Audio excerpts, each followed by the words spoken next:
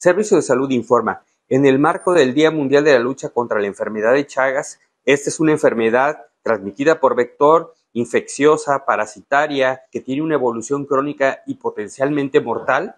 Es importante recordarle a la población evitar ponerse en contacto con el triatoma, que es el vector o el insecto que causa la enfermedad a través de la contaminación de la piel, de las mucosas, de los alimentos, a través de la sangre o a través del embarazo eh, la transmisión de un parásito. Para evitar la presencia de este vector o de esta chincha besucona es importante tener en mente limpiar la vivienda de manera rutinaria, principalmente el exterior, eh, escombrando, desmalezando, quitando palos, piedras, escombros que puedan favorecer la presencia de esta chinche y revisar el interior de la vivienda, blanqueando las paredes, colocando mosquiteros, pabellones, repellando quedades, huecos que permitan encontrarse a la chinche.